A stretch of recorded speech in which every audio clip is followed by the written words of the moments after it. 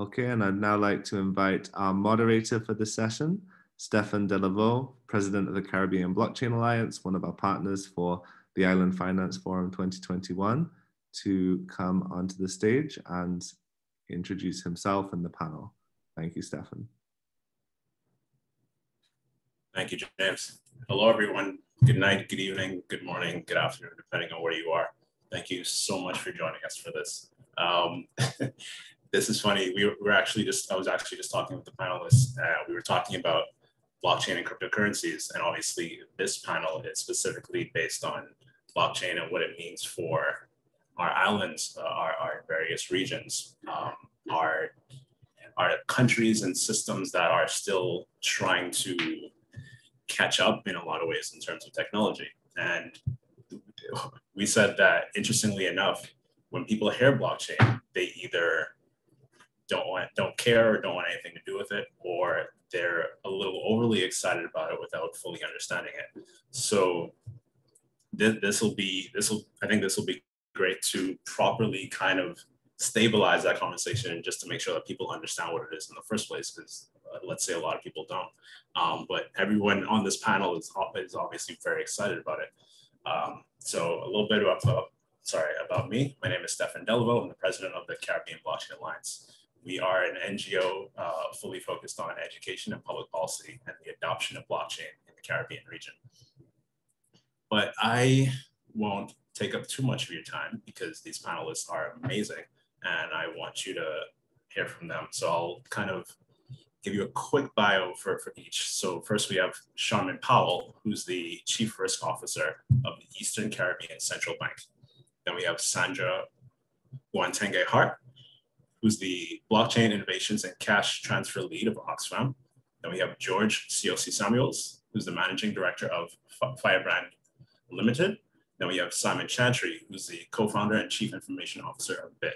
So what we're going to do is talk about these kind of more practical aspects of blockchain and crypto that that can really be put into play for us as a either uh, Caribbean or Eastern Pacific, but for specifically for island regions such as uh, central bank digital currencies, which we've already seen in the Caribbean with the sand dollar in the Bahamas and the D- and Dcash in the OECS. And the interesting thing about that is that, and I know Sam will talk some more about that, is that um, both the Bahamas and obviously the Eastern Caribbean states, they are uh, archipelago, they're archipelagic uh, island structures, which means that they have multiple islands where people live, meaning that you know anything regarding payments, trade, or what have you is a bit more fragmented.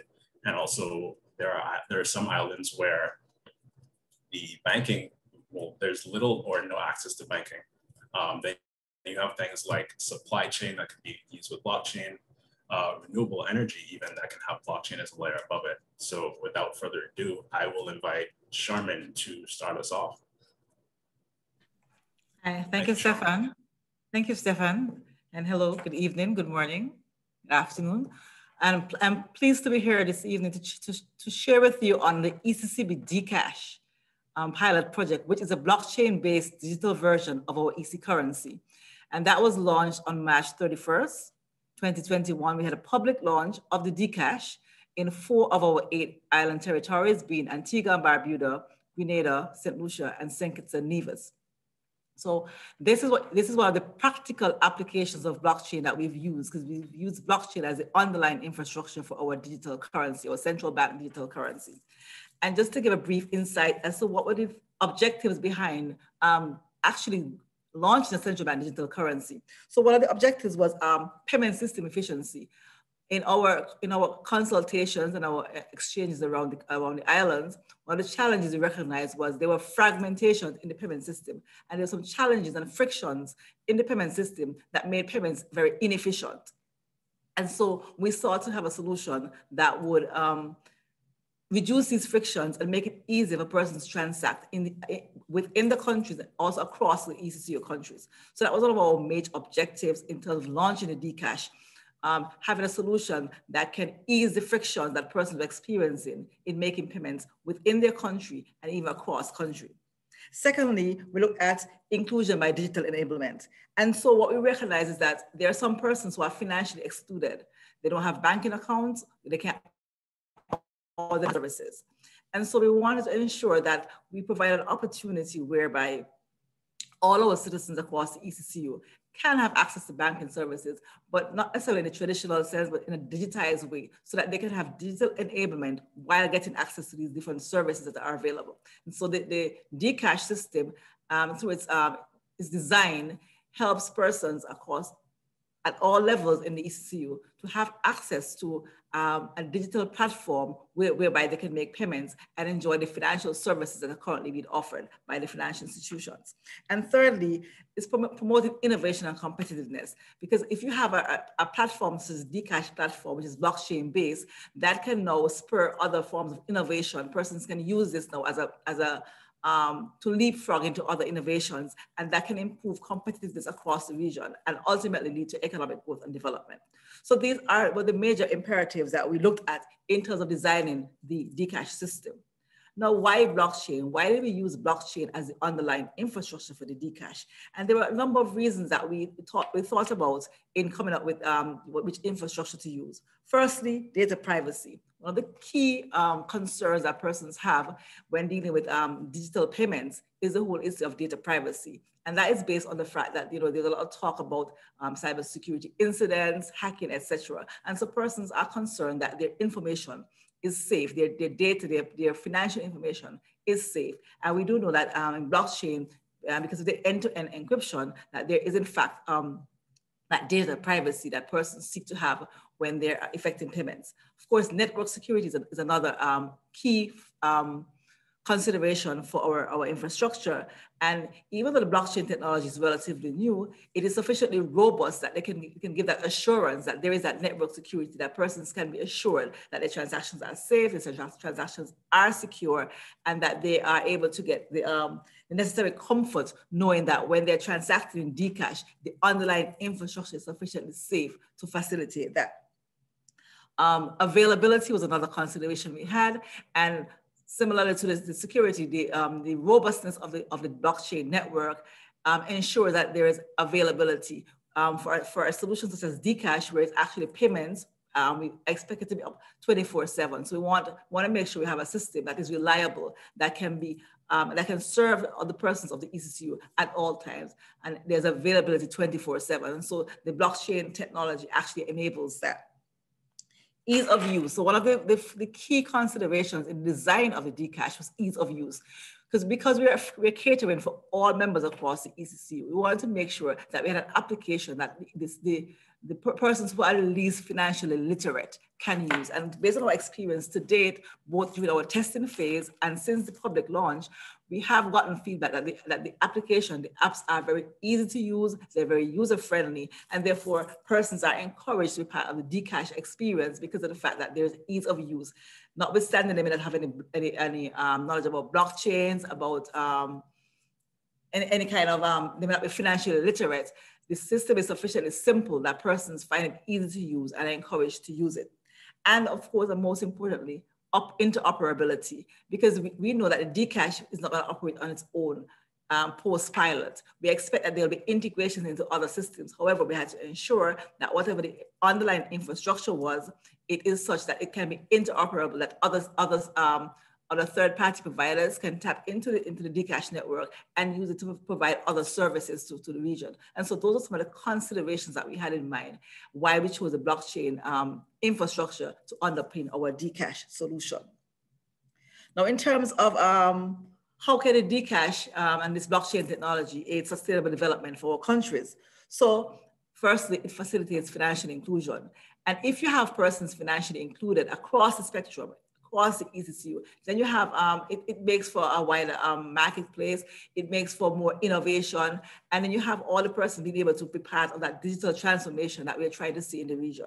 So by doing, by using the Dcash, whereas some persons are currently excluded from financial services with the Dcash, because we have it a system whereby everybody can be included, then that helps to, to move us or to push us forward in the whole digital transformation sphere. As mentioned before, it reduces frictions in the payment system and promotes payment system efficiency. And if you're gonna if you're gonna move forward in our development process, there has to be ease of use. The, the, the payment system has to be sufficiently efficient that persons the ease of that it aids the ease of doing business. And so therefore, by, by introducing Dcash, we are now addressing the frictions that currently exist in the payment system, improving efficiency, and thereby it is more encouraging now to do business within the ECCU using this method of payment. It also enables financial management and and business intelligence through data. So we know that through the blockchain, um, from the Dcash, persons can get a lot more data than they currently have even with um, other financial services or even using physical cash. So we are, we are expecting that with its increased data availability from the Dcash network that persons now will be able to use that information to have greater financial management on a personal level, but even at a, at a business level, businesses can now use this data to improve their, their financial management for their business and even um, improve their, the entire business, their business um, outlook because they can now have data which they can use to influence other decisions. So this is a key um, aspect and it is enabled through the blockchain technology as well, where you can have a vast amount of information which you can manipulate to get um, the results that you need to make business decisions. And finally, it promotes economic growth, in, increase resilience and competition. So um, we know that even using physical cash, there are limitations to the use of physical cash when it comes to resilience. Um, when you have um, natural disasters. For example, currently we have a natural disaster in St. Vincent, and we are now pushing to roll out Dcash in St. Vincent in the second half of the pilot to be able to assist persons, because in that way, persons can get transfers easily from other parts of the region that can assist them in terms of um, mitigating some of the circumstances that they have. So generally speaking, we see the blockchain as um, being critical to the success of the Dcash and enabled us to get to that um, new level in terms of digital transformation that we want to see for the vision. Thank you very much, Stefen. Thank you, Sharmyn. Thank you so much for that. Um, we'll go straight to Sandra.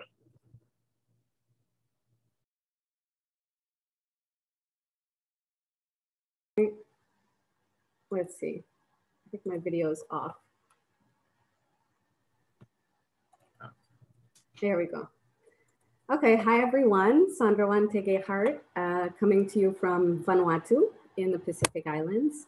Uh, my background is very different. Uh, I come from a background of anthropology and humanitarian assistance. So specifically natural disaster response, emergency management, um, and over you know the decade or so of my career, the majority of that has been in the islands. Southeast Asia, Caribbean, and currently based in the Pacific. Um, so I'm going to talk to you about the Unblocked Cash project, which is an innovations initiative to expedite the delivery of humanitarian payments in the Pacific region and beyond uh, at this point. Um, and it has two parts. So at its core, it is a blockchain powered payments platform run by Sempo, who's a tech partner to Oxfam uh, that functions through crypto or token collateralized card-based payments that are then redeemable at a network of local, small, medium, large, and even informal vendors across the islands who hold smartphones. It's a tap and pay system. Um, so as Sharmyn was saying, it has been specifically adapted for people who are not very digitally or financially literate. They simply tap their card against the vendor's phone in order to complete payment and pay for what they need after a disaster when they need it. In other words, the card functions like an electronic voucher debit card um, loaded with assistance issued by an NGO like Oxfam or the government. And the phone functions as a point of sale device that allows vendors to track what they're making through the program, um, but notably to accept payment and help the markets around affected communities recover. So in terms of aid transparency, it's also a huge help because all payments are fully traceable by category of spending, age, gender, location, very important in places like Vanuatu, which is over 80 islands uh, and elsewhere across the islands. Um, and we can also track by things like category vulnerability and time frame. The second component of Unblocked Cash is a model and a method so the technology is housed by this method, which is basically a programmatic approach that leverages the power and the structure of something that's very common across all the islands and all the regions where we have island nations. So this is the solidarity and the, the connectedness of community networks, the expansive and decentralized nature of the islands and the businesses, particularly small and informal businesses that are on those islands and allows those businesses to actively participate in the process of disaster recovery. Um, and they're doing that by directly serving the communities they work with. So for those of us who live in these communities, we know that, you know, the kiosk down the road might be your sister's brother's uncle's kiosk, for example. Um, so really looking at those social connections as, um, as a means of facilitating the adoption of this system. The whole approach, so both the building of the technology as well as the adoption by the community was conceived piloted and brought to scale here in Vanuatu on the ground. Uh, it was a fully participatory process. The first phase pilot was in 2019, serving around 1,200 people. And we started with a bare bones version and built it up and enhanced its features and components based directly on community feedback. So that's where you know we start to talk about blockchain from the bottom up and building applications that mimic people's behavior in different contexts, as opposed to building the application first and trying to airdrop it into different and usually culturally diverse contexts. Um, so we got here by kind of a trend in the humanitarian community, which is trying to deliver more and more assistance in the form of cash, which sounds good in the island context, because as we all know, if you're delivering bags of rice, rice and beans, tin fish across the islands, then the logistics of that is costly and it's very, very slow. So people don't get help when they need it. And usually the first responders are the communities themselves. However, in bringing this approach to the Pacific Islands, which was my job when I joined Oxfam in 2017, we found very quickly that this approach of delivering cash, more lightweight, easier to get to the islands is significantly hindered by the nature, the limited nature of financial services infrastructure. Uh, why? Because traditional brick and mortar financial services were built for the mainland. It was not originating from the islands. It was not built for multi-island nations. Um, and what that means is that there's simply not enough bank branches and ATMs to serve such a complex and geographically distributed region. So now in the Unblock Cash project, we've managed to A, scale and expedite the delivery of humanitarian payments by building out a digital last mile to reach underserved communities and engaging those communities and the business people in those communities to help each other. So to help this system grow and expand organically and in a way that resonates with the way people typically transact with each other in, uh, in the island context. So this digital last mile reaches across that gap in financial services infrastructure, but it also builds on that infrastructure that we know we all already have. And that is really the infrastructure of community networks and connections.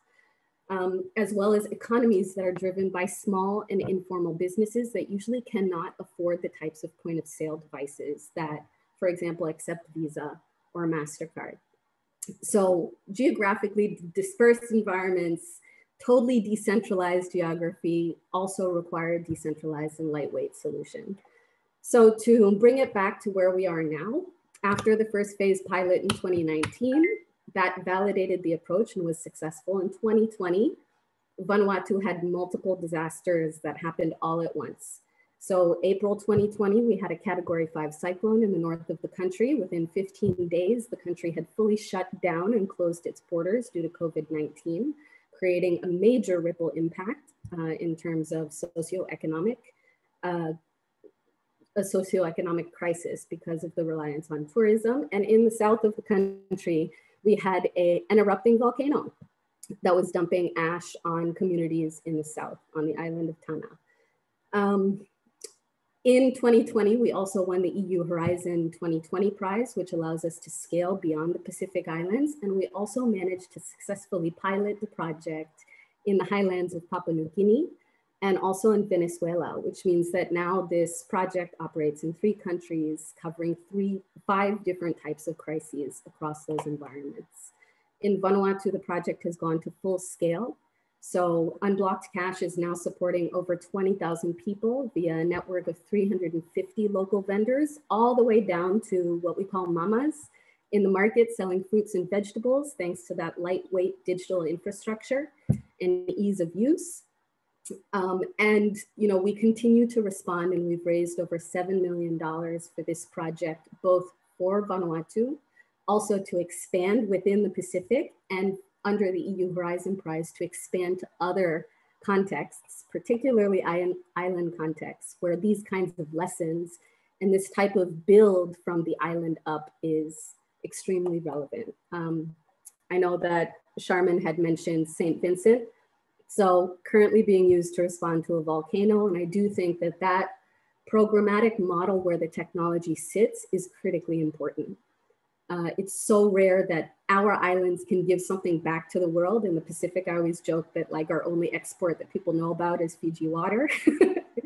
but you know, I really hope that this solution and the way communities have been engaged in this community iterative product development can demonstrate that we can give back to others who struggle with the same challenges, whether it's the Caribbean or the Indian Ocean or the Philippines. Um, but basically in contexts where we we know the bricks and mortar infrastructure doesn't work for us, or where we know that economic and monetary dysfunction has an equally severe impact on those communities. Uh, so I'll just wrap that up by saying that we continue to expand. I also work for a company called Emerging Impact, which has an MOU with Oxfam is, and is actively looking at projects to employ this approach in the Caribbean. Uh, and some of the challenges that we've faced have been primarily around regulatory challenges, but also critically digital literacy, financial literacy, and education integration. Um, and of course, changing systems, uh, which, you know, as we all know, some people are a bit resistant to. That's it for me. Thanks. That's excellent. Thank you so much, Sandra. Uh, George, you're up.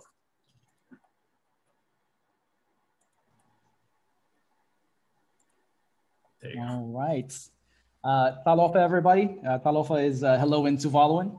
Um, really enjoyed that, Sandra. Um, so yeah, today I'm going to be uh, talking about uh, Tuvalu, uh, the Tuvalu National Digital Ledger Project. Um, so just a quick, uh, my name is George Siosi Samuels. I'm managing director of a company called Faiā. Um, we're a community tech consultancy, so it's very fascinating to hear Sandra talk about the community component. Um, we essentially were created because of exactly what Sandra was talking about in terms of um, culture being a very important thing for um, the, the, South Pacific Islanders, as well, as well as many other island nations um, something that could really be given back to the world uh, through you know, more professional means or through business, et cetera. So we help bridge uh, communities in technology, uh, specializing in emerging tech like blockchain. Uh, I was born on the island of Fiji, uh, so on the uh, Fiji water exports, um, definitely kudos on that, to a Tuvaluan Samoan mother and a Fijian Indian father. I've lived in Australia, Asia, and now I'm actually tuning in from Panama. My career history has spanned from startups to corporate, uh, worked in both financial and uh, tech sectors.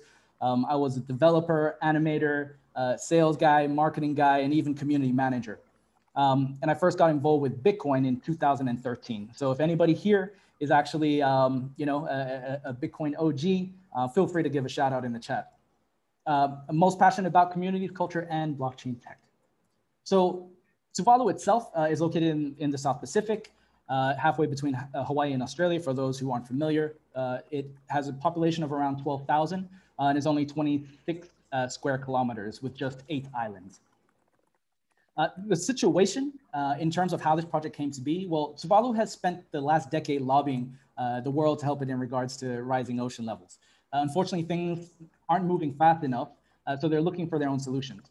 And with debt politics being a very real issue in the region, how they find their solutions is as important as the solutions themselves. Uh, as part of these efforts, Tuvalu is undergoing a digital transformation process, uh, like many other island nations are right now, over the next decade, uh, which include things like improving its digital infrastructure um, and leveraging uh, specifically for Tuvalu, uh, something like its .tv ownership. So if you aren't familiar, Tuvalu had uh, was very lucky in terms of being able to get the rights to .tv. So if you know services like Twitch, um, and all these other streaming services that may leverage .tv, well, Tuvalu um, owns the rights to them. So every couple years, they actually license this out. Um, and that equates to about 8% of its annual domestic revenue.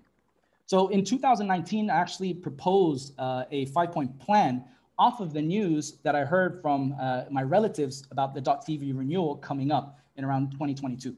Uh, and so the, the proposal actually leverages uh, off of this and uh, essentially in, includes blockchain technology as part of the digital transformation effort. Um, so if you're, if anyone's actually interested, I'm just sharing the link in the Zoom chat. Um, you can actually see uh, the, uh, the, the, proposal. Now, I think there was an original Medium article that you can check out. I'll try and uh, shoot that after.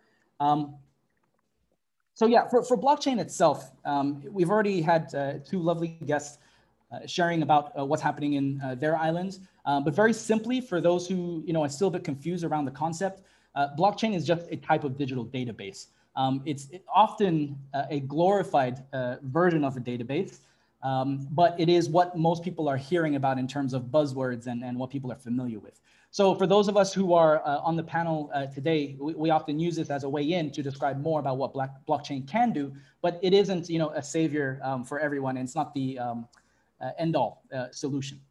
But essentially, it helps to record information in the form of data blocks um, that are chained after one another. Um, and it's usually very difficult to change, hack, or cheat, which is why the appeal from a data um, privacy and security standpoint. The earliest forms of blockchain were actually experimented with in the Pacific. So if you guys haven't heard this story before, um, there's a story of the Yapese people. And they actually use these large uh, round stone pieces uh, as, a, as a form of payment, but they ran into the very obvious issue of not being able to transport uh, this around.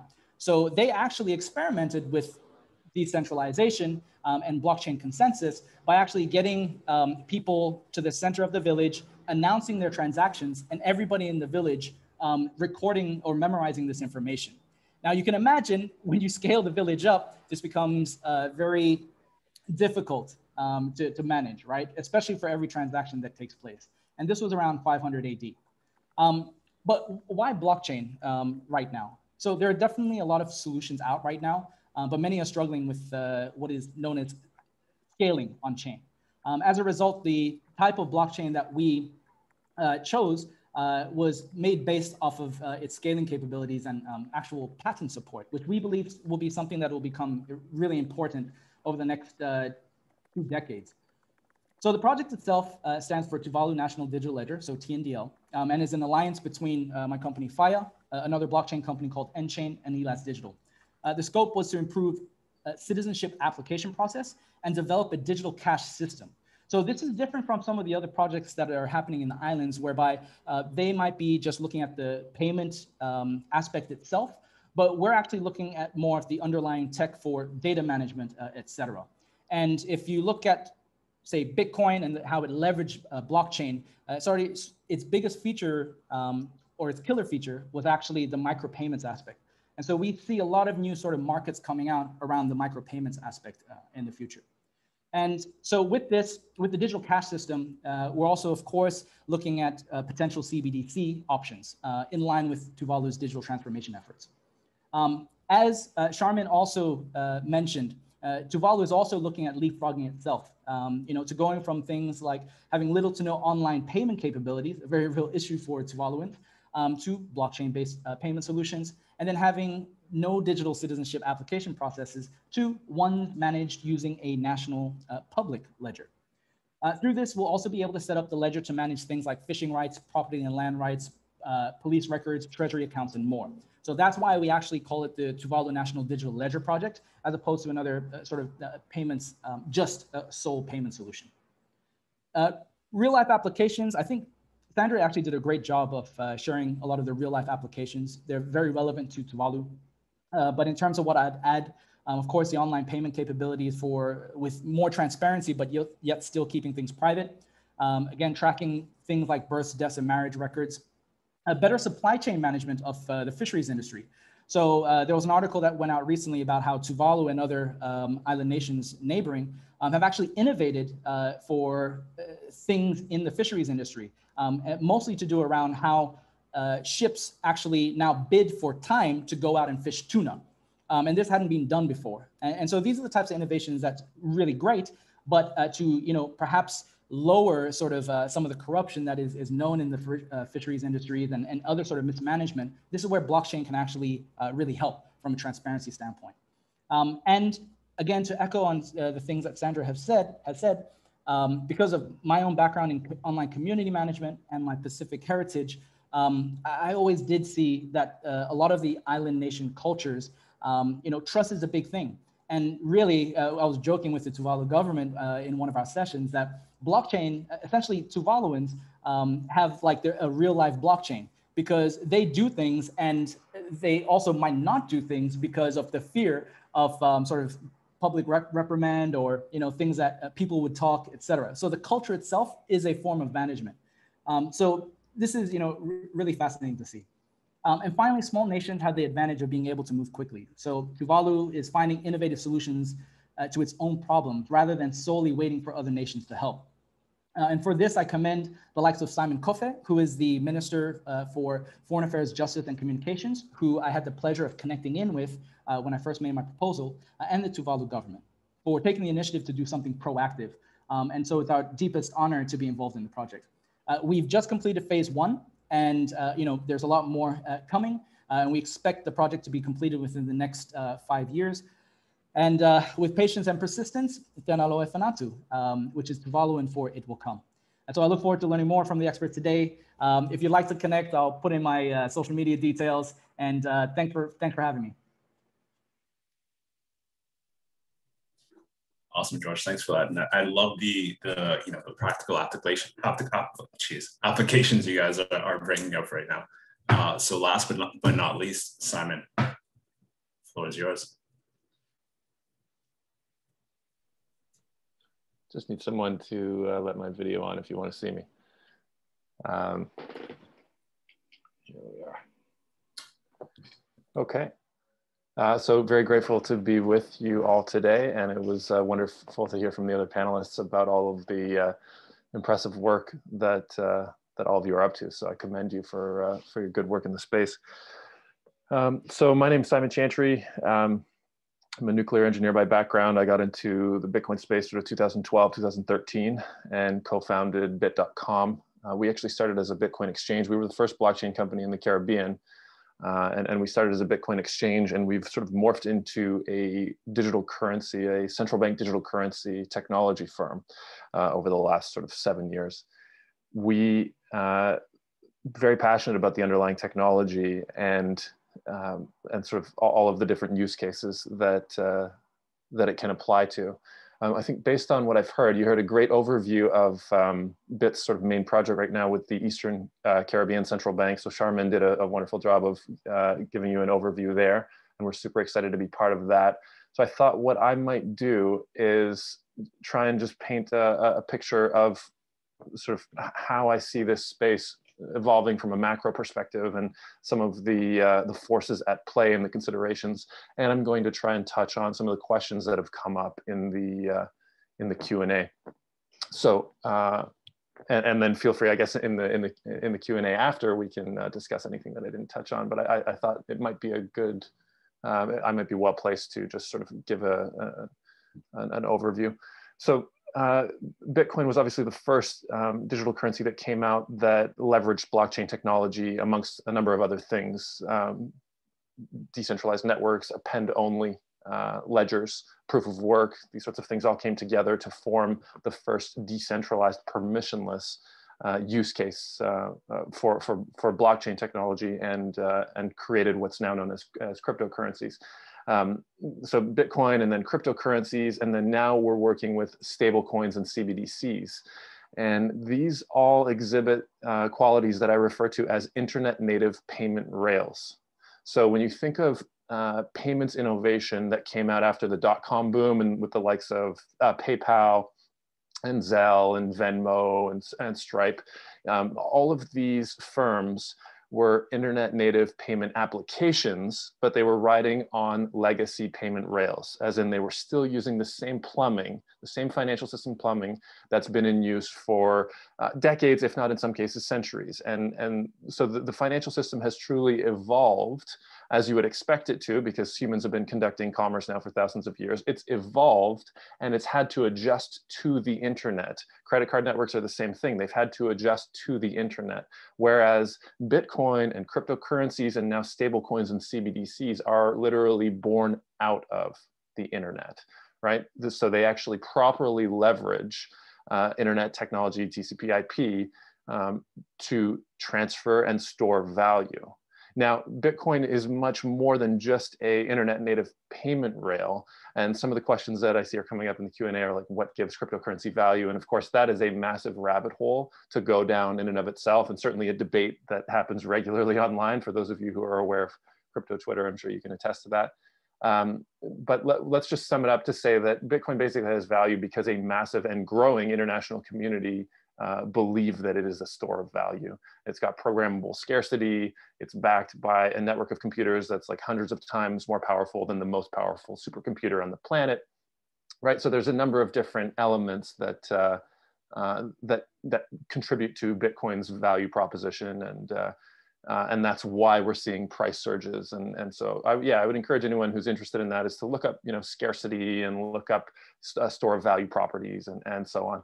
Um, but back to internet native payment rails, it's like, what do, what do they really offer? And I, I think I had said before that, um, you know, the, the, the, payments companies that came out after the dot-com boom, uh, don't get me wrong, they improved uh, user experience to some degree, but there's still a good amount of fees embedded in their business models.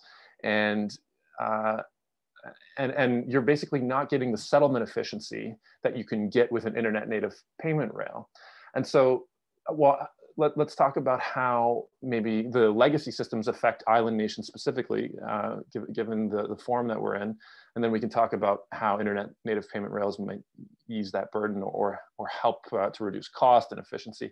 Um, legacy systems, as I'm sure uh, you're well aware, um, sort of impose, I, I think uh, having lived in the, in the Caribbean for a number of years, um, impose sort of unfair uh, structures on, uh, on island nations where the islands are dependent on foreign correspondent banks to settle either between islands or to settle, settle international transactions. And that just leads to costly payments with uh, sort of high latency, like a, like a lot of um, you have to wait a lot of time and you have to pay a lot to move money internationally. Whereas you can send an email instantly uh, and it's, it's just data that we're transferring at the end of the day. And so that's sort of a comparison that I like to make to say that internet native payment rails uh, are, are seeking to solve the issue of uh, um, that legacy systems have sort of um, not been able to solve yet for, uh, uh for island nations specifically. And then add that to the fact that in a lot of cases, um, the financial institutions that are operational within islands are in some cases have their boards in other countries uh, in, you know north america and that. And so they may not have the best interest of the uh, of the citizens um, at heart for every single decision that they make. So it's it's another consideration. Um, and so when we when we look towards what uh, what either uh, cryptocurrencies or um, cbdc's and stablecoins can do again as sort of the primary financial uh, transaction use case for blockchain technology. Uh, I, I, do think it's about providing more low cost, uh, efficient, instant settlement payment services um, to, uh, to island nations. Um, and there's a number of ways that that's accomplished. Obviously, we're seeing central banks increasingly move to pilot their own digital versions of currency. And, uh, and you know, along with that comes reduced cost and instant settlement and, and a lot of great features that we're, uh, that we're looking for. Um, one of the uh, questions that did come up that I saw in the chat, which I find to be super interesting, and it's also worthwhile, uh, it's just worth a little bit of, uh, of digging in. Um, the notion that CBDCs are using blockchain technology, but central banks are centralized. And so are they really leveraging uh, the, the decentralization element? And of course, the answer is, is no. Central banks are not looking to build on decentralized networks yet. Now, if these decentralized networks scale effectively with security, then central banks may reassess that in the future. It may take 5, 10, 20 years, who knows? These things play out over um, longer periods of time. But for now, central banks are keenly interested in using the distributed consensus function. And so what that means is these networks offer the ability for administrators to delegate different operators uh, with nodes that correspond to their institutional mandate. So not only can the central bank run multiple nodes and have their own distributed ledger that runs across multiple nodes, and that again translates down to where is the network actually being hosted on what servers? Is it a cloud provider? Is it a physical box on-prem? There's all sorts of different considerations about how to run these distributed networks. And uh, as you can imagine, central banks are keenly interested in making sure that there's, it's always up, it's always operational 24 seven, 365 that has good scalability and throughput. So it scales when it needs to, and it processes transactions very, very quickly. Uh, and so th these are all considerations that central banks are, uh, are implementing into the design of their CBDCs. And certainly uh, at Bitt, we are, uh, we're working with central banks to develop these networks and deploy these networks. And so not decentralized, but distributed. And distributed is also a, um, a massive innovation, um, in, especially in the context of financial networks. And so I personally see CBDCs and, and stablecoin networks evolving to have uh, multiple node operators that are known. So they're not decentralized, they're known, and they, but they agree to the system rules and they all contribute to running uh, these networks and, and, processing transactions. Now, again, a huge fan of decentralized networks as well. I think what uh, Bitcoin and Ethereum have done is, is incredibly impressive and it's an entirely different proposition because you, you do have um, tens of thousands, if not hundreds of thousands of, of uh, individuals and firms running nodes on a network and they're free to like join and leave at will. And, and uh, you know, the game theory that's incorporated there to, to make these decentralized networks uh, operate is, is really something special. Um, but it's a different, that's sort of a different ballpark that then, then we get into the realm of crypto and, and, uh, and the mechanics of how um, crypto networks operate and, and sort of, um, you know, maintain not only maintain value, but also uh, provide the functionality that they advertise to, uh, to provide. Um, so I know that was a bit of a, a wandering. I, I, did want to give an overview and, uh, and I hope I, uh, I did that well. So back to you, Stefen. Simon, thank you so much for that. That was that was that was excellent. I'm kind of glad you touched a bit on the, I guess, the geopolitical aspect as well that that many of our small island nations face. Um, well, we'll just jump straight ahead to the Q&A. Uh, there were quite a few questions that, that were already answered um, by the panelists in the chat. So we'll go to some of the current ones. And this one, this one's very interesting. I'll, I'll leave it open to whoever, I guess, feels the strongest about it. But here's the first question from Priscilla, which is, what mechanisms, legislative framework, and others would be needed to ensure the treasure trove of data does not end up undermining marginalized communities? Example, tribal lands where ownership is common but without formalization or tracking of at-risk members of society, for example, women and LGBTQ escaping violence. So this is, you know, about data structure, which, which is always an interesting question. I'll leave that open for whoever wants to start. Maybe I can give a non-technical reply, um, but one of the reasons, you know, with unblocked cash, you know, as I was building it, was this kind of gut feeling that uh, civil society has a role to play in acting as a mediator in the way that blockchain platforms are deployed, you know, particularly in developing country contexts and in the islands, because what we've seen with business to business models or government to business models is that nobody is really giving the community a voice. Nobody's making sure that you know, GDPR, for example, standards are in place uh, as the minimum standard for delivery, but also nobody is really representing the rights of those communities and integrating a rights-based approach in the way that digital platforms are being rolled out and delivered. And so this is one of the reasons that, you know, we really believe through this project that NGOs,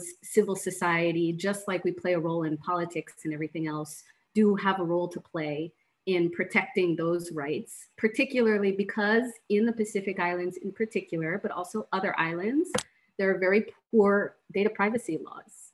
You know, and at the end of the day, if the government is not looking out for us and them and communities, um, and businesses are, you know, that may not be their top priority to protect data. They might be more interested in resharing data um, that means that the only backstop that we have is, you know, popular representation and resistance. So that's my non-technical answer, but I'm sure, I mean, in our project, we use GDPR standards. Uh, that's an Oxfam wide standard, but I guess I'll leave it to the others to give the technical lowdown. Yeah, I might just add that um, from what I've learned over the years, and of course, by no means am I uh, an expert on the, the legal side, but uh, you know, there's obviously a lot of different jurisdictions. Um, and from what I've learned, you know, blockchain and, and maybe using the example of like Bitcoin, the implementation of blockchain, it's supposed to be like a truth machine. So uh, if it is implemented the way that was originally envisioned, uh, whereby governments and citizens also leverage, you know, public ledgers, then this becomes uh, one big uh, accounting system, uh, whereby uh, anything that's already happening, if anything, it should just be made more transparent. That could be used at, in courts as, as evidence, et cetera.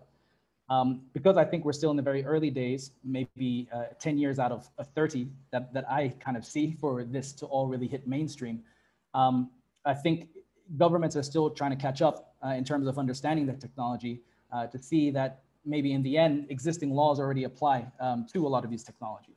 Um, again, though, uh, it, it really is dependent on the jurisdictions because there, as we know, there's different laws um, in, in, different countries. So uh, would just echo what uh, Sandra said as well. Um, it, it's something that will need to be uh, looked at uh, with the local communities. Um, and of course, always having them in mind.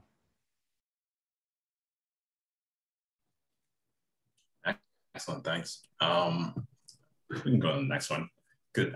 And and for the same for the same question, there is the the idea that you know it depends on the project itself, uh, who's behind it, that that these these particular issues may come up, and that's why it's important to have a, basically have an engagement with whoever is doing this work, because um, it's not a one size fit all. It's more of a.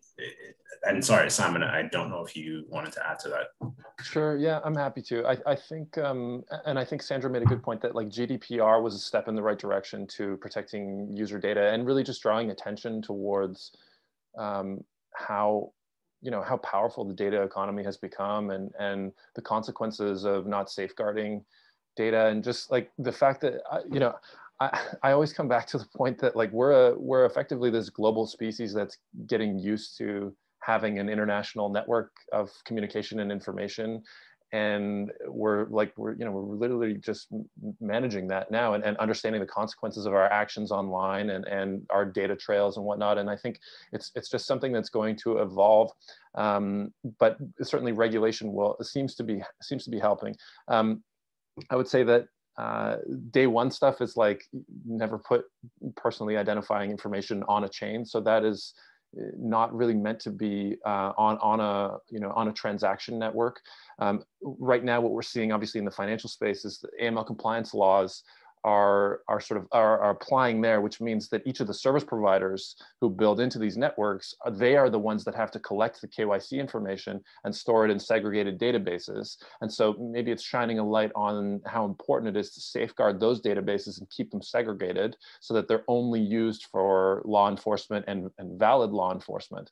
Uh, but of course, there's uh, th there's many, many implications and the solutions, you know, some of them have been built. There's some great work been going on from the likes of uh, Shift and, and Sovrin, some of these digital identity companies uh, that are working on solutions to, to this problem. Uh, but again, this is, I, I, fully agree with George that like, this is a, uh, this is like a techno technological phenomena that's going to play out over the next like, you know, couple decades or, or generations, or I, I mean, who knows how long and we are but we are establishing it now you know collectively and we will establish it by our standards like what are we willing to accept and what products do we pay for what products do we not pay for and how we spend our money right there's all kinds of different uh, ways that i think it'll evolve but i just wanted to insert that uh, stefen and Stefen, um, to something you said earlier as well, it all, it all depends on who's doing it. Because in the case of central bank digital currencies, you know, the central bank relies heavily on moral suasion. And so they have to ensure that person has the confidence in the product that they're offering or it will not be used. And so in our in our case, even though we don't have um, data privacy laws that are prevalent, we do still um, have to respect person's privacy and for them to have confidence it's come from the central bank. because that is the only way we're gonna have persons have confidence using the Dcash. So we have to give the assurance that persons' data will be, will be kept private. Excellent, thank you.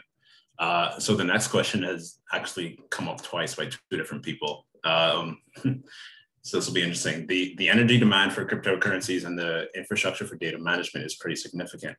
How can small island developing states ensure that climate and environmental footprint is not negatively impacted in the race to digital transformation? I'm not sure who wants, who wants to go ahead on that one. Simon, do you want to put, try your hand at this one? Uh, I'm, I can take it first if you like. I mean, yeah, I, uh, um, yeah, okay. So the, the energy usage comes from what's called proof of work. Uh, and, and proof of work is, is effectively like a, um, a way of, of verifying the integrity of the underlying ledger. And yes, it's, it's costly from an energy perspective. Um, but it's also the first time in, in sort of human history that we've had provable immutability uh, amongst a decentralized group of, uh, uh, of human beings, specifically for value that cannot be coerced. It cannot be changed. It can't be stolen, right? So this is a, it's a, it's a phenomena um, that is, it, people are clearly assigning value to it. I think that's, that's apparent with the influx of capital into Bitcoin. So there's, people are assigning value to this so they find that function to be very valuable. The fact that you can you don't need to trust any identifiable intermediary um, and you can store value on digitally on the internet. So let's just let's just say yes humans a, a large group of humans find this valuable. Now what to do about the energy usage I, I think what we're seeing right now from Bitcoin miners in terms of you trying to use sustainable energy wherever possible, and that includes things like locating um, mining operations next to hydro dams uh, or using uh, uh, excess um, load from nuclear plants or using um, methane flare gas, or not just methane, but uh, um, natural gas uh, flares where literally that energy would, would go to waste um, if it wasn't used for, for this purpose. Um, I see someone saying you're mining a valueless digital asset. That's, uh, I mean, sure. I, a lot of people would disagree with you, but that's totally fine. You're entitled to that opinion. Um, the uh, oh no i lost my train of thought. Oh right. The um, it, i think it's important to note that like if if you so i come from from like the energy sector. I did work at a nuclear plant for a few years before i got into crypto. And it's important to note that energy like power generation um, the the majority of it gets wasted. And that's that's how our electric grid works. Um, you need base load all the time in order to have energy whenever we want it. So a ton of energy already gets wasted and base load is actually how you increase the overall efficiency. If you can increase the base load you increase overall efficiency which is kind of it seems contradictory but it's uh, but it, it, that's actually the case. And so it's i mean it's a huge rabbit hole to go down uh, as far as when you get into mining and mining efficiency but i would say those are a few points. You know there's more miners looking towards sustainable energy. People have assigned value to this fact that, that they you know they want to have a, a decentralized store of value. And so humans are going to make it happen. Free markets are going to make it happen one way or another. But uh, George, you have uh, you have any input there? Yeah, um, I've I've heard this question a lot, and I always find it fascinating um, because if uh, obviously there's a lot of uh, blockchain projects out, and so it can seem very wasteful. But if we use uh, maybe a volcano as an analogy, right? At the beginning, when a volcano erupts, right, it's very wasteful, right? There's all this energy that's being forced out of the earth, right, and going everywhere, flying everywhere. And what's the value in this? But from uh, Mother Nature itself, right, these volcanoes are actually creating new land. And so I sort of see that happening in this blockchain space right now, where there are all of these new experiments uh, in, in blockchain and mining and whatnot that is just all over the place. Nothing's consolidated. But uh, going back to that sort of 10 year out of 30 uh, timeline, any significant human innovation um, usually takes around 30 years for it to like uh, make its way. Um, and so with that, uh, the, the issue generally is not that it uses a lot of energy, but it's like, how is it using uh, the energy? Um, and, and I think this touches on what Simon was talking about. And there are a lot more um, initiatives uh, occurring whereby miners are looking to um, use a lot more uh, green sources. Um, trying to make things more efficient. And you also have to look at making sure that you're comparing the right things. um, blockchain as a solution was actually meant to uh, sort of overtake all of the other inefficient manual processes that currently take place, especially when it comes to centralized banking, et cetera, right? All the things that is required for um, maybe the manual movement of uh, physical cash, which Tuvalu um, still does, uh, but there are all these sort of inefficiencies that take place. Um, you could look at toilet paper, right? What is the point of toilet paper? You got water. Many you know, like why don't we use water for um, our, our, toilet usage, right? You think about it. A tree dies, is burnt, shipped halfway across the world to then be used for like three seconds, right? And then in the toilet. I mean, to me, that's a big waste as well. But these are the sort of the things that is often, um, you know, looked at or not compared uh, properly. So if we have in the in the future a sort of more mm, uh, single public ledger, just like we have a, a single um, internet, then the inefficient, the, the efficiency gains should overtake sort of all the other things that we're seeing now. And because of Moore's law, computers should get more efficient as well over time.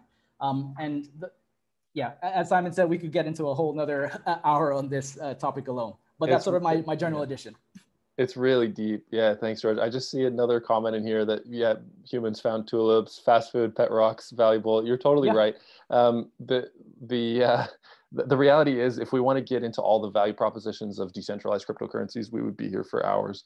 So I, mean i'm happy to like drop links in where these discussions are actually hashed out properly and if you're willing to do the, the work and read up um, then that would be cool. But uh, yeah it's just it takes a lot of time.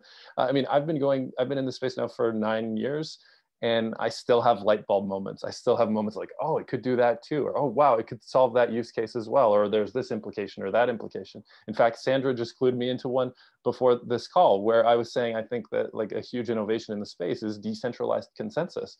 And Sandra said, well, that's what culture is. I said, okay, that's fascinating. I mean, this is decentralized consensus for uh, keeping track of value, but decent, like culture truly is decentralized consensus. So anyway. Yeah, no, those are excellent points. And I guess I'll just quickly add um, to, to both Simon and George's points, actually, especially in terms of comparison. Um, again, not to downplay the energy uses, usage of, let's say, Bitcoin or Ethereum or any proof of work protocol. But interestingly enough, the, the reason you're able to see how much energy, or at least kind of estimate how much energy is being used by Bitcoin, for example, that's actually part of the system. The, the reason why that's that kind of stands out is because everything involved is so transparent. It's if you look at anything else, it's very difficult to actually see how much energy something is using. So for example, if you look at the energy usage of Christmas lights just in the United States for one day out of the year, it's astronomical. But of course, that would never come up in a conversation because it's much harder to actually look at and compare. So this, so just just it's it's an interesting conversation, um, and it's something that and and how George said, uh, computers get more efficient over time. The if you look at the very first computer that was ever built, it was extremely inefficient. It, it wasted a lot of energy, and if someone had said, "Okay, this is bad. Let's stop there," that would have we would not have allowed technology to play out. So it there's there's definitely an importance of definitely bringing up these issues and pushing for improvement, but also to make sure that it's at least going in the right direction. And that's where the, I think that's where the focus should be. But that, you know, that's just my spiel. I'll go to the next question. Um, so can any of the panelists comment on current state of blockchain technology being used for the United States Sustainable Development Goals within small island development states? Sure, I can jump into that. I mean, I guess the first thing that I'd put in is a caveat um, that the sustainable development goals by their nature being global goals like every other global thing is very poorly adapted to the pace of development the structure of economies um, the structure of society in the islands right? So to hold small island development states to the same standard that uh, large mainland developed states are held in terms of reporting to those goals, I think is, is a bit skewed. And that's why we've either been disproportionately ahead or disproportionately behind. So a case in point is the fact that you know, Vanuatu, despite having very limited infrastructure, entire islands where people are still working based on a barter system, despite having 60% plus women having suffered from domestic or sexual violence, you know, has just graduated from least developed country um, status. Uh, but that's just because the government has managed to balance their books in a way that gets them across that line. However, um, I do think part of there needs to be an acknowledgement across small island developing states that we're going to need to put different tools in our toolbox if we're held to that global standard. And I think one of the tools in the toolbox box that serve us particularly well are digital tools. So while other countries might be looking at more traditional ways to expand things like education um, for children, to expand things like improved access to food, improved food security, improved water quality, um, and increased income and a reduction in poverty using traditional means, right? Like normal approaches to financial inclusion, uh, or through you know big social protection systems that larger governments are better able to handle, we might be looking at digital tools and digital solutions, uh, particularly when we can leverage kind of decentralized infrastructure that allows us to benefit from the equivalent of a global server farm and a global database like blockchain without having to build that infrastructure on the island itself.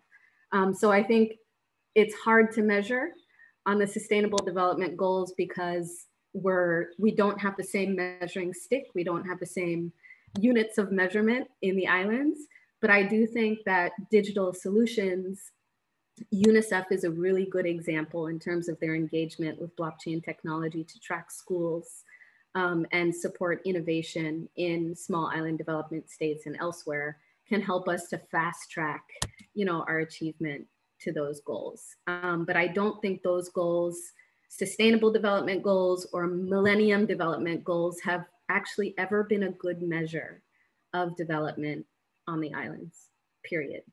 And probably my boss wouldn't be happy about me saying that, but that's the truth, um, is that when you create global standards, some people get left behind and usually the smallest countries in this case get left behind.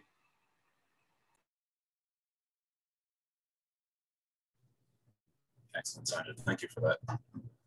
Uh, so the next question is, why is it that in most discussions today, one doesn't see participation from indigenous peoples from Pacific Islands? Is there a chance to encourage engage engagements from indigenous populace within the Pacific context so it is an interactive and inclusive platform rather than just listening to inventors or ideas or inventors thrashing out their ideas? A thought from an, an indigenous Fijian woman. Sandra, I don't know if you want to touch on that too, or George. no, I I wholeheartedly agree. I mean, I'm originally from Rwanda and the USA. I'm kind of from all over the place, right? Um, but I can at least say that for the Unblocked Cash project, on the ground implementation, I am actually the only foreigner involved in building out and scaling this solution locally with the possible exception of, I think there's about a dozen grocery stores that act as vendors, but everybody else is Ni Vanuatu people who are feeding back to the service provider to update the platform on the way that it's used in a way that resonates with them. And we actually built it to kind of be customized for local communities in the Pacific Islands because we knew that we could not, sorry to say it, entrust, you know, foreign companies to do that for them. Um, so I am the, mi the minority in my project. In Papua New Guinea, there are no foreigners implementing the pilot, um, not even any other islanders. It's a fully local team. And one of the magical pieces of that was that we had our local staff train their local staff and local vendors in Papua New Guinea over Zoom using uh, Vanuatu Bislama, which is the pidgin spoken here, and Papua New Guinea pidgin. You know, so also demonstrating that when you have local leadership, local involvement, you can also enable cross island learning in a way that's more relevant to people. It's always going to be more relevant you know, despite however big my afro gets, you know, for for a Pacific Islander to listen to the testimony of another Pacific Islander, um, or for somebody from the Caribbean to be listening to the testimony of somebody else on another island. Um, so I fully support that. Uh, I think my number one job in this is really to be handing over this project to local leaders that are able to be at the next conference instead of you know me talking. So I 100% agree with Ellie. Um, I'll let some others speak to this point too. Yeah, Bulavinaka. Um, so I, think you bring up a very good point, um, and it's actually one of the reasons why um, I felt it was important to be uh, very deeply involved in the project for the Tuvaluan side. Um, for me, I'm a, a, mixed kid. So I was born in Suva. Um, so my dad's Fijian Indian. My mother is Tuvaluan Samoan. So that's where I have the Tuvaluan heritage. Um, luckily, my mom was very big on uh, teaching us the culture um, growing up. Uh, but one of the things is, you know, my ancestors, right, obviously left the islands to seek out better opportunities. And so part of this project was going, well, hey, my ancestors did this. Let me use the education that I've gotten, you know, in, thanks to my, my parents and my grandparents to start bringing it back. So a lot of the issues and why you might not see indigenous representation is just, I think, one time and also access, you know, to the knowledge around these things. Um, especially when it comes to blockchain, it goes off over the heads of many people, even in the space still. Um, and so part of our efforts is to you know, be involved uh, and, and help teach and train people locally uh, to do similar things uh, so that we can hand off. But um, for me personally, I'm not just looking to hand off. This is something that I'm like dedicating my life to, um, at least for the Pacific region. You know, I want to be able to um, sort of guard against what we have seen, and I've heard this in the Pacific uh, sort of Facebook groups. People talk about blockchain imperialism or techno-capitalism, right? They think that it's just another form of colonization happening again. And this is very real, right? You got intergenerational trauma, et cetera. Um, so uh, I think it's very important for people who are cult culturally aware to guide um, technology companies, those from the West, et cetera, um, when dealing with implementation and rollouts uh, locally. Um, and I don't know if this applies to other island nations. I'm assuming it does. Um, but I know in the South Pacific, these are very real concerns. Um, so yes, you know, let's definitely get more representation um, in the future. And that's why like I'm here, maybe Sandra, so that we do have more people of color too, you know, um, in these talks. Yeah, I might just like add a tiny thing because you mentioned this thing, George, on blockchain imperialism. Um, there was recently an article written by I think, a French academic based out of New Zealand on blockchain imperialism in the Pacific. And I don't know if anybody on this call has read Frantz Fanon uh, and the white gaze, the notion of the white gaze, but I felt that extremely strongly when I read his article because this is somebody that I had met in person who knew exactly who I was and who chose to represent the white voices associated with the projects being implemented in the Pacific Islands and to not consult anybody on the Unblock Cash project. I was offended as an African woman coming from a country that has been colonized and has lived the consequences of war and genocide as a result. But I was also offended on behalf of a team, a beautiful local team that has made this work, you know, not because of me, but because of them. Um, but you know i think it's incremental steps the fact that we have a lot of people of color we have mixed people i'm of mixed heritage myself. That's complicated we all know that uh, you know but that we have more people that understand and have an identity that resonates with the like a legacy of your voice being taken away from you. And somebody else like a white french academic preaching to you about imperialism you know people that understand the discomfort uh, that you feel like deep in your gut when you hear that. And people who you know like myself i'm not a pacific islander and i tell people all the time like i'm just coming from a place where i know if it was my country i would not you know i would want my communities to be involved. I would want my people to be given a voice. And i would want the solution to be built in my image you know as opposed to in the image of the man who thought that he could save us, which unfortunately happens a lot. So anyways, just sharing where I'm coming from. Uh, thanks. The guy's exactly who I heard it from. no, that's awesome. Uh, Sandra, I'm actually reading Wretched of the Earth right now, and Fanon did not mess around. but um, th this this is a pretty good one, actually. What are your thoughts about blockchain and crypto solving the de-risking issue with corresponding banks to island nations? I know all of you could probably jump on.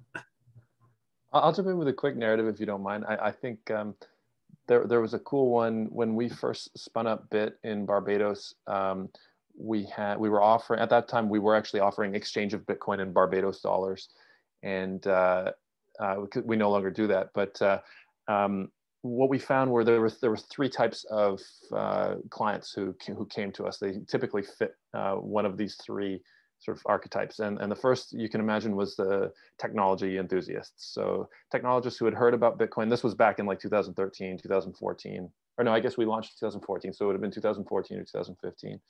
Uh, and in 2016. So technologists who found out about the technology and were really interested in it and they wanted to get their hands on it and play around with it um, that was sort of the first type. The second was speculative investors. Uh, of, of, course, wherever there's an emerging market, um, you're going to see speculative investors show up. The third was my favorite. It was merchants who had been uh, de-risked by a payment service provider. And they, they basically coming to us saying, hey, I have a European client who uh, I can't accept payment for anymore, but they've offered to pay me in Bitcoin. You can cash me out into Barbados dollars, right? And uh, we say, yeah, of course. And so they were able to maintain their business continuity uh, by turning to an alternative payment rail. And I've heard many, many examples. Of, I mean, that's one of our examples from Barbados, but I've heard many, many examples of them. More recently, I believe in Nigeria. There's a lot of Nigerian businesses who have been turning to uh, transacting in uh, in Bitcoin uh, because of this, because they haven't been able to uh, to use payment rails um, for you know one reason or another. So that's just one example that uh, that I'm, I'm fond of.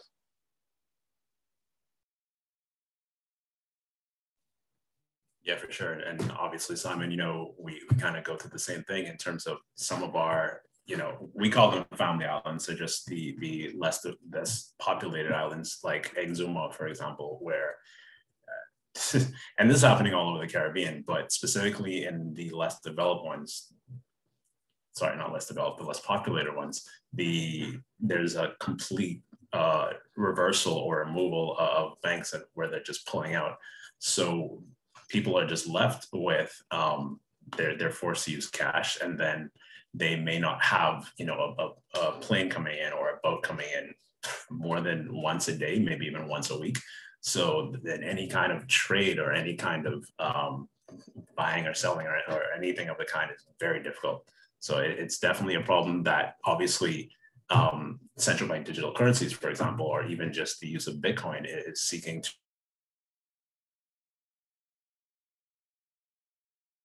to uh, or we could jump to the next one.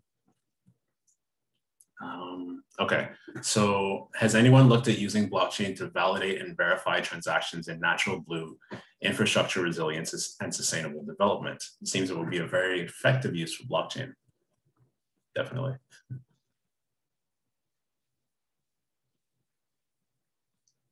Anyone want to touch on that? I, I know no one's specifically working on renewable energy, but. Uh, I can maybe touch on it a little bit. Um, the CEO at Emerging Impact, Robert Greenfield, has actually done some work on tokenizing and creating environmental commodities. So specifically around energy efficient infrastructure, how do you truly capture and be able to monetize the amount of energy that you've saved and use that to trade for other purposes, maybe to build additional, uh, building additional energy efficient components on new infrastructure. So that's a collaboration between Emerging Impact and a company called BlocPower, which is based out of um, Brooklyn. I think.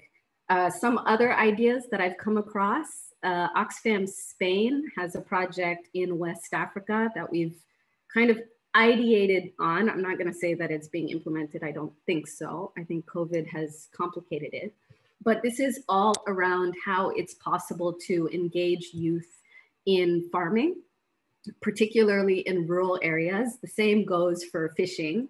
Uh, in a lot of the islands where our youth are fleeing to the cities and there's a lot of traditional knowledge that's being lost but there's a lot of you know coping strategies that are also being lost so if we can engage incentivize the engagement of youth in the harvesting um, and growing of natural resources as a climate change project. So in this case, this was planting trees and planting carbon sinks. So plants that act as carbon sinks uh, and putting those into a safe, tokenizing those on the blockchain, pegging them to the value of a stable coin and effectively putting those into a, a savings account for these youth that they could access after the age of 18 um, and that could be accessed through tokenization and exchange against a cryptocurrency, which could then be off ramped into the youth's mobile money account in that country.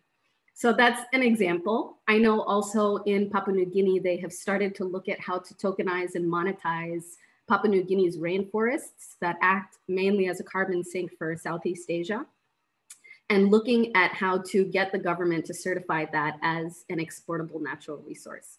So those are some of the things that I've heard of. I think there are endless possibilities when we think about, you know, large ocean states and blue oceans approaches across the Pacific Islands and the Caribbean.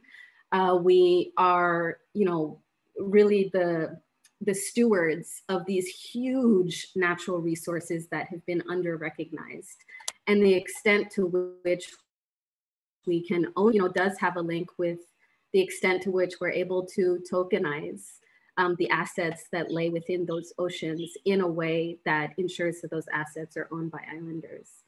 Um, it hasn't really been explored yet, but I think it's one of the ways that we can start to grow our wealth in a way that accurately represents large ocean states and not small island developing states.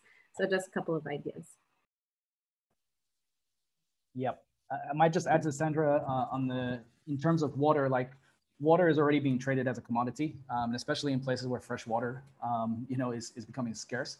Uh, and so what's really interesting is uh, there's the exploration of actually, um, especially island nations, um, being able to essentially um, liquefy hydrogen, um, so the water, and using turning that into uh, sort of an export to some of these other uh, places around the world who are needing more uh, water. And uh, this then opens up sort of new markets as well in terms of uh, the ocean itself, whereby once upon a time, it was looked at as a threat for many island nations, especially low-lying. They could actually then become its greatest asset. And that's sort of what I envision happening um, in the future. Uh, so, you know, with everything we're talking about right now, uh, I guess it's about looking at things that we are looking at as threats or risks, um, and then turning these into our biggest uh, opportunities as well. Um, and it's always the case, right? With every sort of um, situation um, that you encounter, uh, it can be a threat or a risk to one person or an opportunity for another. Awesome, thank you. Um, what is this, What is the market opportunity, if any, for cross-border settlement systems? Uh, for example, Caribbean nation uh, banking systems or central banks. Also, what is the impact of their domestic distributed ledger technology in the settlement? Simon, that's all you. uh, yeah, sure. So uh, for a while now, like we at, at Bitt have envisioned uh, what's called the Caribbean Settlement Network, and I, ha I have to give uh, some props to Gabriel Abed, um, my co-founder in Bitt, for his vision um, in sort of reigniting. I think it's called the Treaty of Chaguaramas from the 70s, if I believe. Maybe Sharmyn, you can call me out on that if I'm wrong, but I know that the, the Caribbean has had a, a multinational settlement network envisioned for some time. Um, and, and it's mainly to, to sort of achieve uh, what I touched on uh, earlier, which is direct settlement uh, between island nations. And again, this technology can provide for that. It's, it's one of the main value propositions of, um, uh, of CBDCs is the fact that you can have sort of um, smart contracts that enable sort of atomic uh, settlement, atomic swap, uh, or exchange contracts where um, like there's instant exchange basically that can happen between two currencies. So right now, most of the islands uh, in, the Caribbean, they have to go through the US dollar before they go like, so it goes like, you know, the initial uh, currency in the island, then it goes up to the US and then it goes to the target uh, uh, recipient um, for, for the conversion. And that's not efficient and it's, it's also not cheap. Uh, and so, you know, one of the goals that Bitt has tried to accomplish and is on the mission to accomplish is to connect each of the digitized versions of the Caribbean currencies uh, with each other. But this is not a unique goal. In fact, this is something that is uh, uh, it's it's touted you know internationally as one of the key value propositions of CBDCs. And so whether it be you know the ECB with the euro, uh, eventually doing you know a, a, digital exchange and swap agreement with the Fed, um, and with every other uh, country, big and small, this is the val- this is one of the value propositions of sort of blockchain based uh, central bank digital currencies and so um, yeah definitely a, a, huge a huge part of it uh, a lot of it does come down to um, the, the, the contracts that the central banks uh, will have between each other because you can think like um, if it's going to be implemented at the protocol layer, the central banks need to approve these sorts of integrations. And so I, I think that because central banks are sort of of common mind that they want to decrease the cost of cross exchange and cross currency transactions, and they want to facilitate better remittance uh, services and processes. That I think this will be sort of one of those standards that the central banks adhere to and are eager. It's a goal that they will be eager to achieve, especially for countries who have a lot of remittance inflows and rely on uh, remittance for uh, you know for a, a, portion of their GDP, a good portion of their, their GDP. So it's um, uh, yeah, I would say it's it's it's part of the technology. It's definitely part of the value proposition uh, of, of central bank digital currencies and, and stablecoins. Awesome, thanks. Um, I don't know if anyone else wants to touch on that. I did see another question. I can't find it now, but it was basically uh, asking about current legislation in the in the Caribbean related to blockchain. Um, if if everyone doesn't mind me answering that quickly, um, the Bahamas actually released its its DARE Act, um, which is focused on blockchain and crypto at the end of uh, in December of last year. Uh, Bermuda and Barbados have actually had their sandbox uh, blockchain infrastructure, I guess, or, or, their regulations for a while now, definitely a few years, right, Simon? Um, Mm-hmm. So it, it, we, we definitely we definitely see it coming in the Caribbean. Um, Cayman has also been pushing for sure.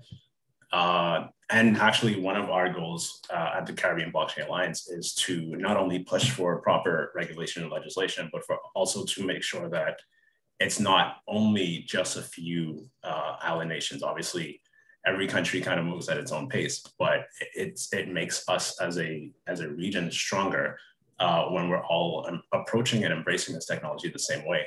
Uh, I think one of the things that would be amazing that we will definitely continue working on trying to do is to create like a, a regional regulatory framework where we're all kind of using at least a, a skeleton or a, a framework that other people, other countries can add upon or, or tweak as is necessary, but coming from the same standpoint or the same beginning point would, would go a long way.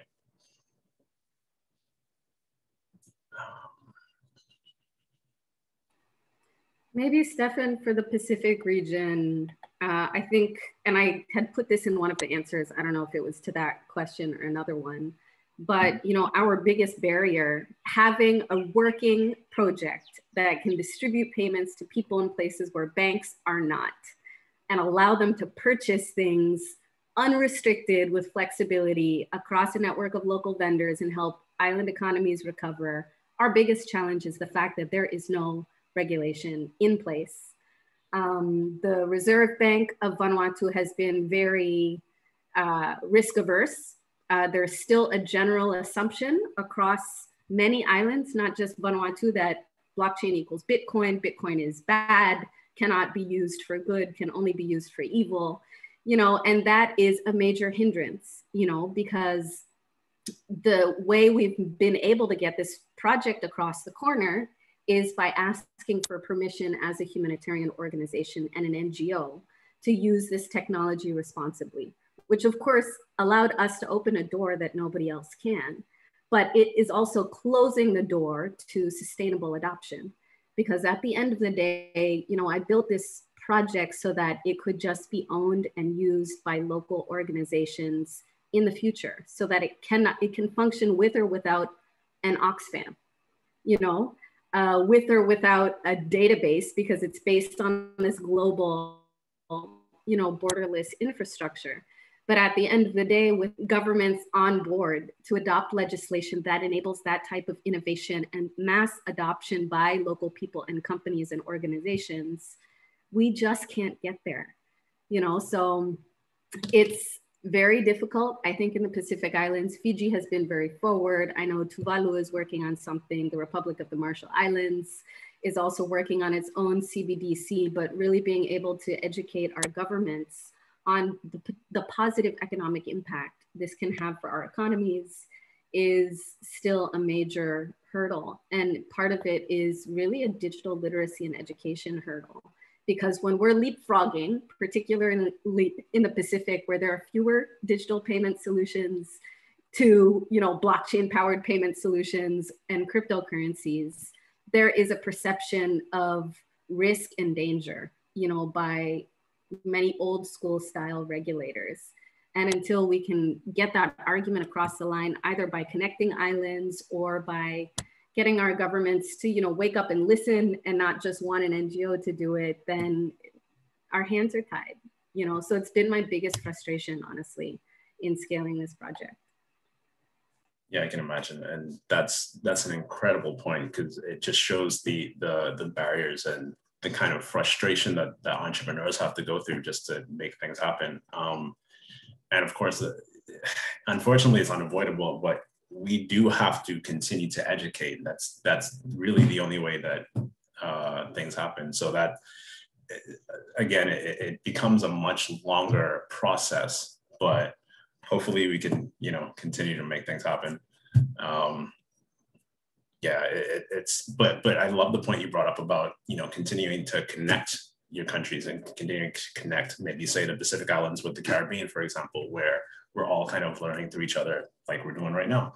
Um, engaging with each other and understanding how you know each other is is embracing uh, or at least approaching it. And that could potentially lead to a bit more openness and a bit more speed in, ter- in terms of making this stuff happen. So thank you. That was an excellent point. Uh, james how are we doing for time by the way uh, it would be great if you could wrap up, maybe from all the panelists. Yeah, and obviously, um, for people who have continued questions, just hit all of us up. We're all on LinkedIn or you know the various other social media. But this has been amazing, and I want to thank each and every one of you for for giving give explaining what you're doing, but also answering questions and some of the giving some of the best answers I've ever heard in this space. So thank you, thank you all so much. James, thank you for having us. Um, and that's all, folks. Thanks, Stefen. Thank you. Thanks, Stefen. Thanks, everybody. Goodbye. Thanks, everyone. Excellent Bye. chat. Bye-bye.